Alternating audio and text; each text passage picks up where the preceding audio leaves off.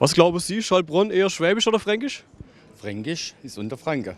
Ich würde sagen eher schwäbisch. Also in meinen Augen ist ganz klar schwäbisch. Ja, gute Frage. Ich würde sagen sowohl als auch. Fränkische Stadt. Spätzle Soße, schwäbisch.